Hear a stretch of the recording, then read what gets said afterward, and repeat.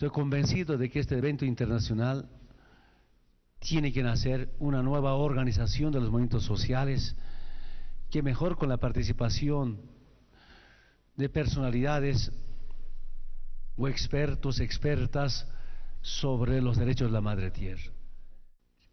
También estoy convencido que sobre un tribunal de justicia climática tengo, tiene, tiene aceptación en los movimientos sociales, pero también algunos presidentes.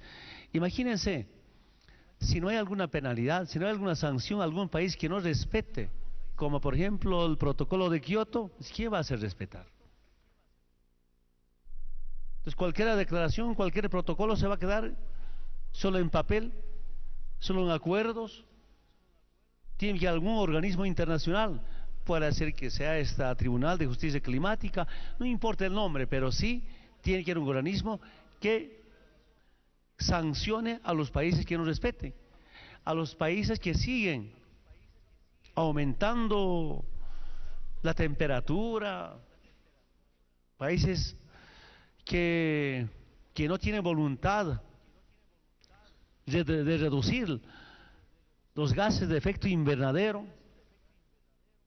Y por ahora, nuestro planteamiento también debe tener una responsabilidad de empezar una demanda a la Corte Internacional de Justicia.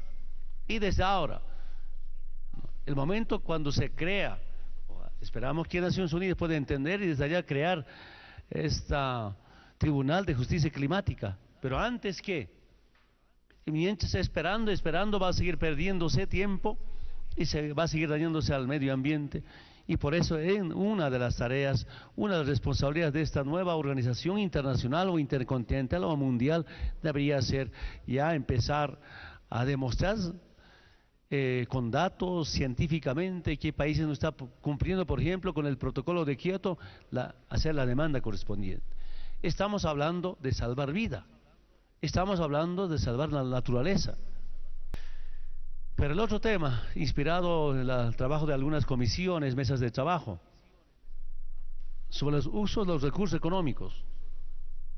Acabamos de revisar esos datos, que por lo menos para defensa, los países desarrollados, presupuesto para, para seguridad internacional, año tienen un millón quinientos mil millones de dólares. En el fondo, yo diría, no es para su protesto de defensa, no es para defensa, no es para seguridad internacional, más es para acabar con vidas en, en las guerras.